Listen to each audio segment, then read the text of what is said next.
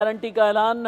दिल्ली के मुख्यमंत्री अरविंद केजरीवाल के कस्टडी से जो संदेश पढ़ा गया है, सुनीता केजरीवाल की तरफ़ से ये छह गारंटी की बात की गई है।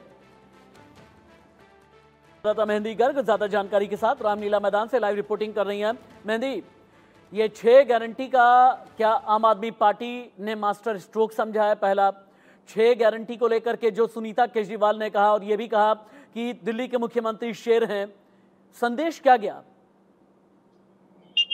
जी, बिल्कुल। देखिए, जिस तरीके से माहौल रामलीला मैदान में देखने को मिल रहा है, भारी भीड़ यहाँ पर जुटी हुई है, लेकिन अब सुनीता केजरीवाल का ये एक भावुक जो भाषण था, वो सुनने के बाद बेशक जो स्ट्रैटेजी है, वो लोगों को इमोशनली टारगेट करने की की जा रही है, क्योंकि सुनीता केजरीवाल जितनी बार भी लाइव आई हैं या जितनी बार भी उन्होंने अपनी बात आगे रखी है, वो हमेशा अरविंद केजरीवाल का एक ऐसा पत्र पढ़ती हुई दिखाई देती है, जिसमें एक इमोशनल एक सेंटिमेंट दिखाई देता है।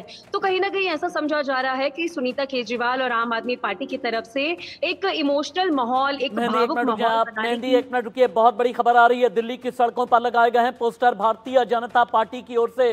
इंडी अलायंस के खिलाफ ये पोस्टर लगाए गए हैं एक तरफ़ लिखा है वो कहते हैं भ्रष्टाचारी बचाओ।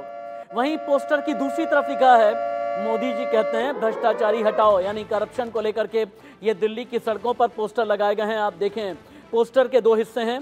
एक तरफ़ ये लिखा गया, वो कहते हैं, भ्रष्टाचारी बचाओ, और मोदी जी कहते हैं, भ्रष्टाचारी हटाओ, यानी करप्शन पर यह सबसे बड़ा अटैक है।